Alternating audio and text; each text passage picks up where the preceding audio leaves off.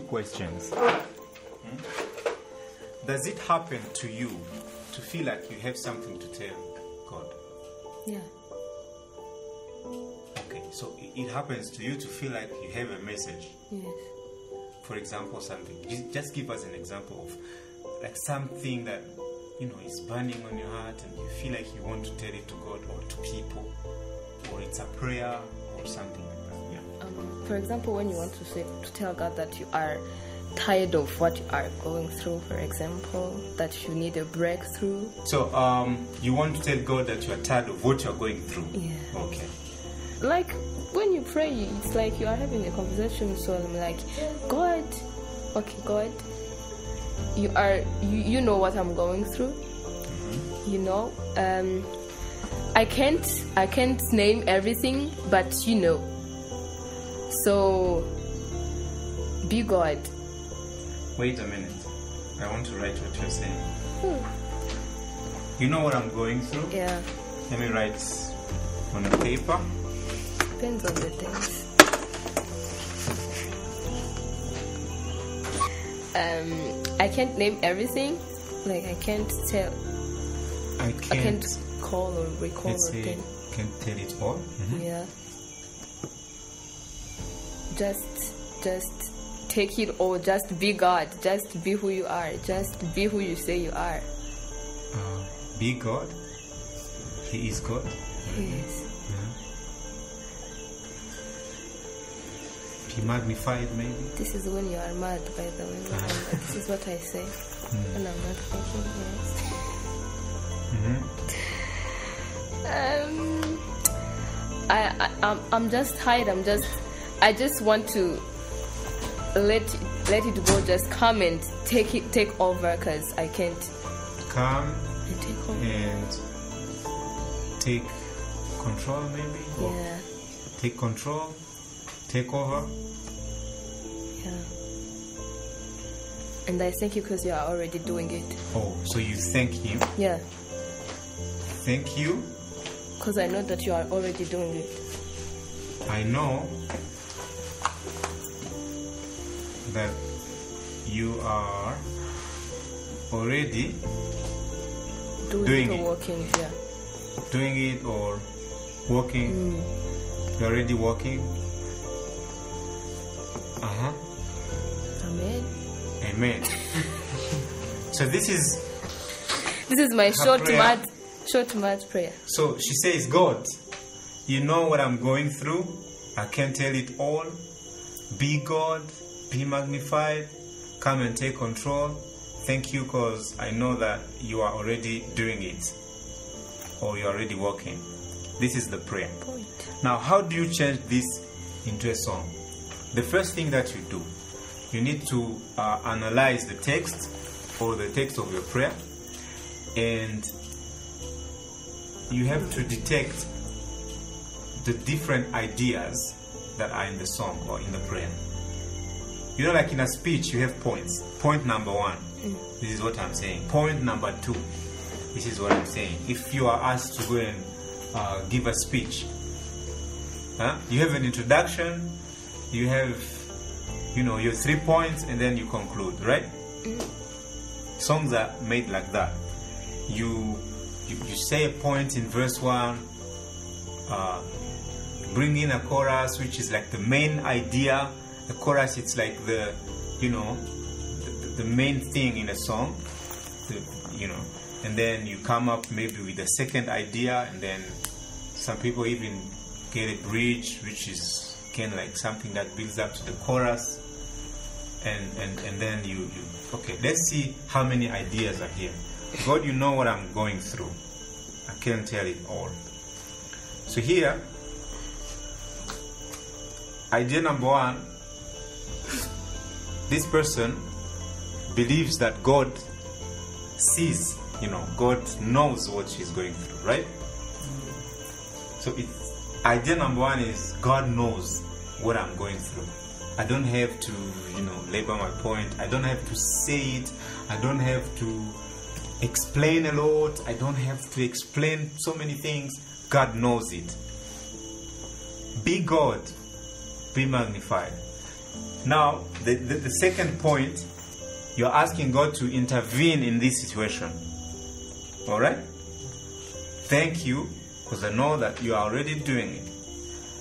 This is the third idea that I'm seeing here. Thanking God, because even though I am complaining, I know that God is up to something. Okay?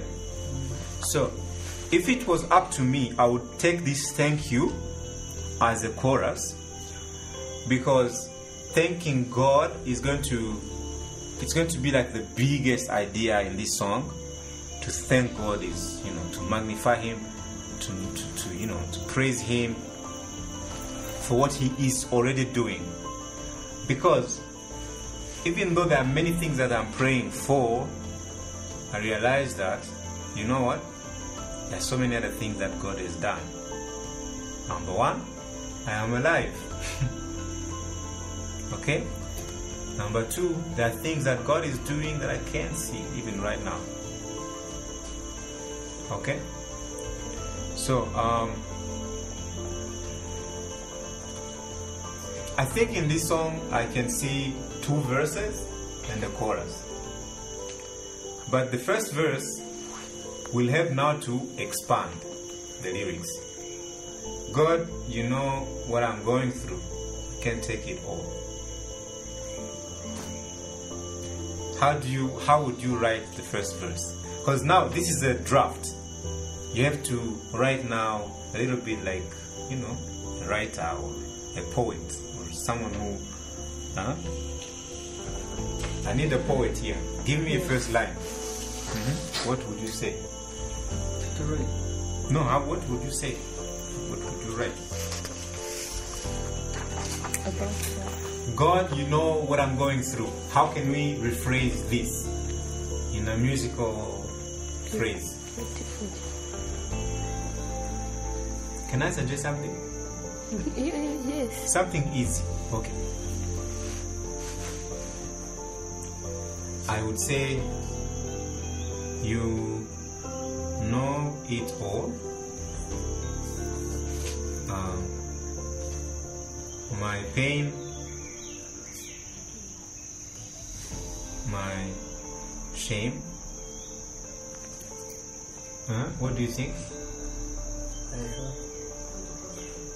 Here I wrote, You know it all, my pain, my shame. So, what I'm looking at before I even do any melody or anything, this is still a draft that can be changed. You can do like a, thousand drafts, you are allowed to do that.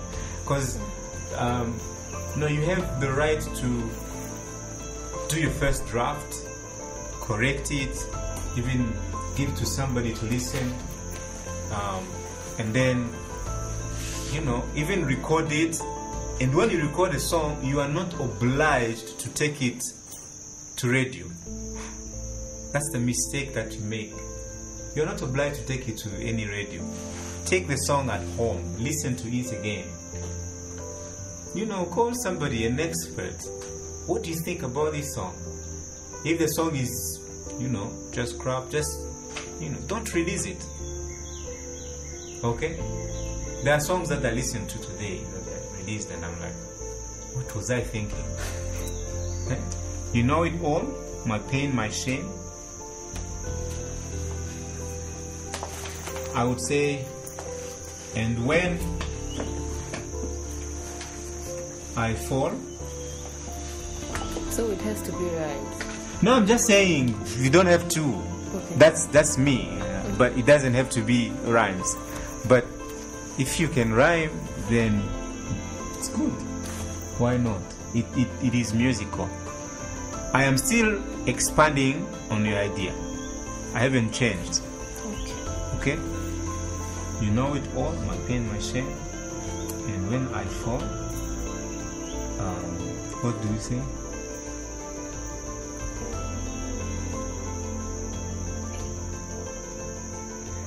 Who that songwriters.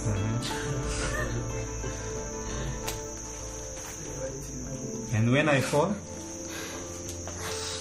When I fall, you pick me up. Okay, the previous sentence was my pain, my shame. Uh, how can we? So it has to be something with A. Hmm? My whole thing, something. No, no, try to read You know it all, my pain, my shame, and when I fall, your love is still the same.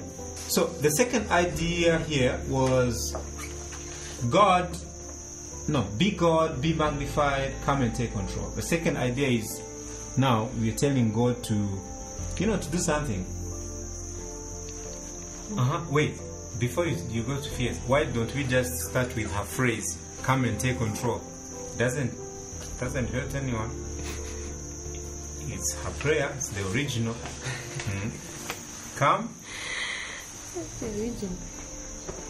and take control. So we need to, to cross check with the Word of God. Let's read again and you tell me if you think it's biblical. You know it all. This is biblical, right? God knows everything. My pain, my shame. And when I fall, your love is still the same. Now, when you say, when I fall, your love is still the same, you have to defend this. Is this biblical? Huh? Don't people say that when you fall, God is angry and uh, He wants to punish you and wants to kill you? Is, yeah, I mean, like there are people who think like that. So when you say this, on which biblical basis are you saying that when you fall, your love is still the same? I want to understand. Huh? God's love is everlasting. Which verse is that? John? Hmm. what does it say?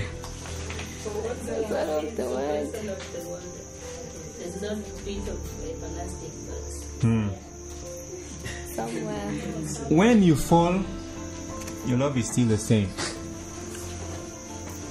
Which verse sustains this idea?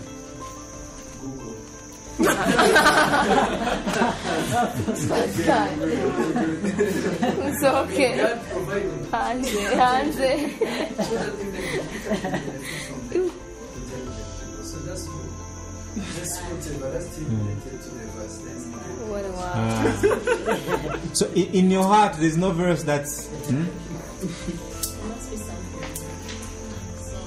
Um, for, for me, Mhm. I don't know about people, but what I believe is that the love of God doesn't depend, doesn't depend on what we are, Mhm. on what situation we are in.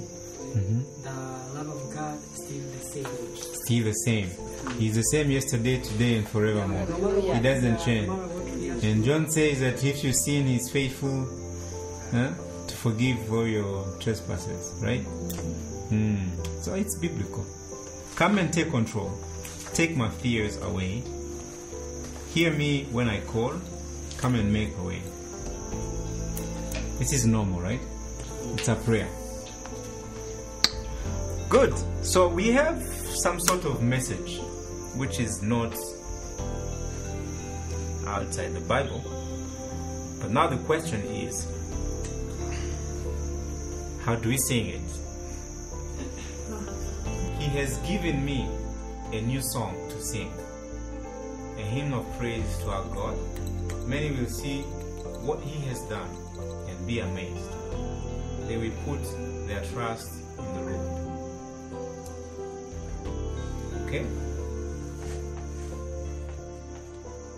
What do you think of this verse?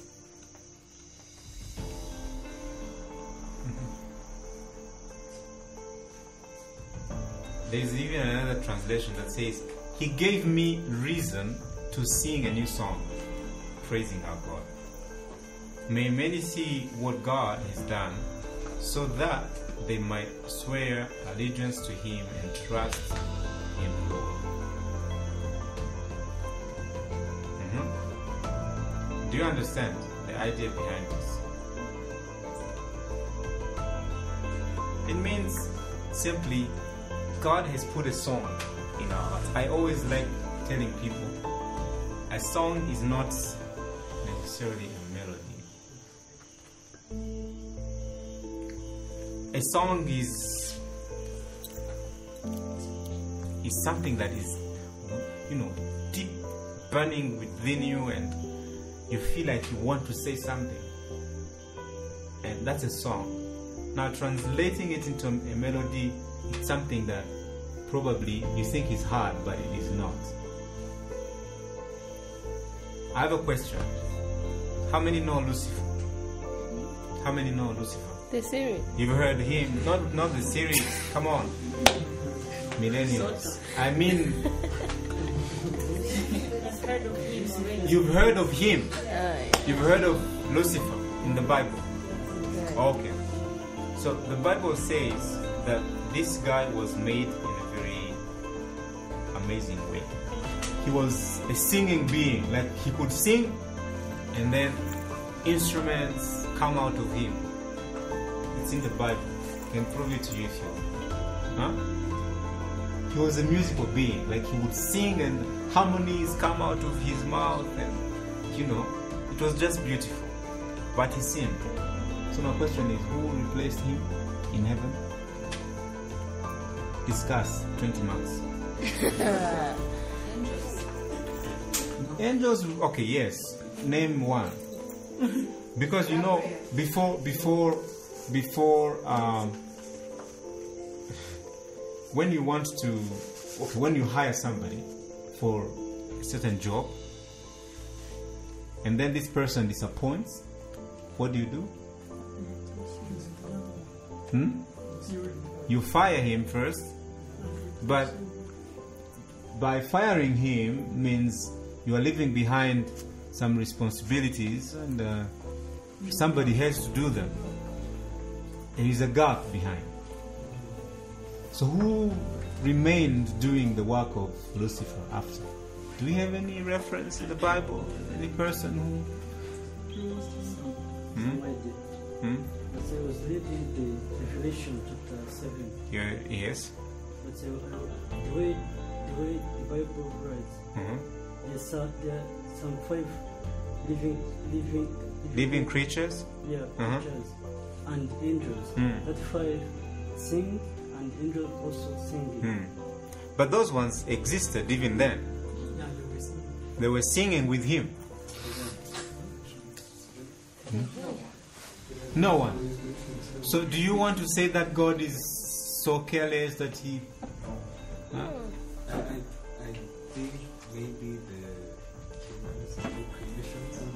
Exactly. After the downfall of Satan, God created us. Simple. He said, Let us create man in our own image, in our own likeness. We are here to praise God, to offer Him praise and worship.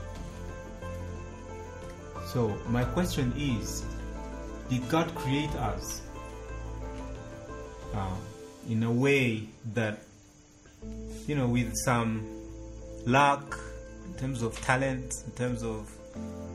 Did God create us like that? No. He created us in a way that we are able to offer Him praise. Now, don't think that every praise and worship is expressed through songs. There are certain people God created with abilities to paint, for example. There are people who can look at you like this with a pen and just, you know, put it on a paper, your face, and you look at it, it's like a picture. How do you worship God using that gift? Okay, let's do it. One, two. No. You you know it all.